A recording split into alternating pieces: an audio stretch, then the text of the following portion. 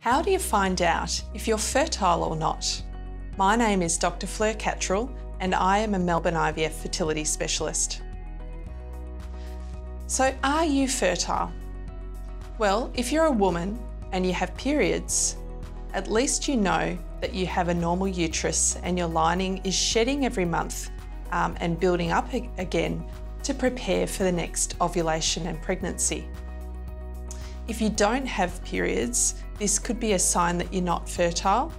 But for women with uh, polycystic ovaries, they might have very infrequent um, ovulation and still ovulate one egg a year. So you couldn't say that they're not fertile. Your past medical history may give you a clue of whether you're fertile or not. So women that have had uh, uh, sexually transmitted diseases such as chlamydia, that can damage the pathway for the sperm and the eggs to meet, the fallopian tubes. Uh, so that can affect your fertility.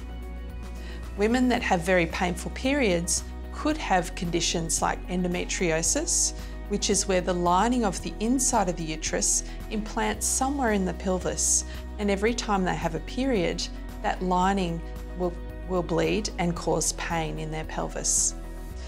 Uh, if you've had a family history of endometriosis, that increases your chance of having endometriosis six times. Some women have an overgrowth of the lining of the uterus called fibroids, and that can lead to very heavy, painful periods. So, if you have heavy, painful periods, this could be a sign of of having trouble falling pregnant, but it's more of a clue that you might have trouble with fertility, not a diagnosis. Now, for men, the best way to, to know if they're fertile is to organise a semen analysis. But before you get to the doctor, one clue would be looking at the testicular size. So, men with very small testicles, maybe the size of a blueberry, they might not be fertile, but it's not conclusive. It just is a clue. Uh, testicular size actually varies a lot, uh, but there is some correlation between testosterone production and testicular size. So, men with large testicles probably have high testosterone, uh, but there is also quite a huge variation in this. The other thing that men can look out for is whether they actually have two testicles.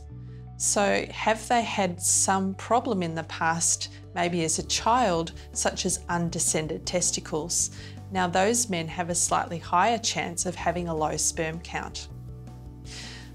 The other thing that men could look for is whether there's evenness, evenness in the size of the testicle. So, if one is smaller than the other, well, the larger one could be an early indicator of a testicular cancer. That would commonly present as an enlarged uh, area in the testicle that might be firm, but fortunately, it's quite a rare condition. So, men, if you have any worries, get checked out with your family doctor or your fertility specialist. The other condition that men might notice is a bag of worms in their, their scrotum, which is uh, known as a varicocele. Um, now, varicoceles are, are varicose veins of the testicle, and they can leave men with a dragging, painful sensation at the end of the day.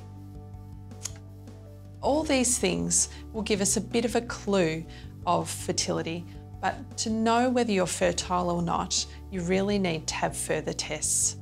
For women, the other thing to think about is whether there is any family history of going through the menopause early because this might be an indicator that you might be at risk of this as well.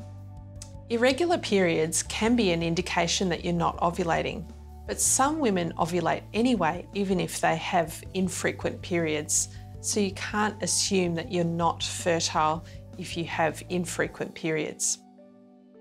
There is a condition called polycystic ovarian syndrome, and that is associated with irregular periods. But there's lots of reasons for irregular periods, and you really need further tests to work out whether this could be an indicator that you're fertile or not.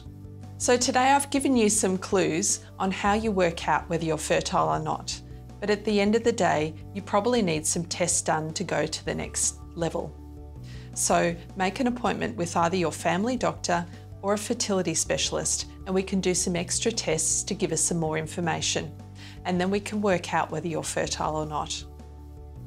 If you want to see more videos like these, click the subscribe button. If you have any questions, leave a comment below. Take care and good luck with your fertility journey.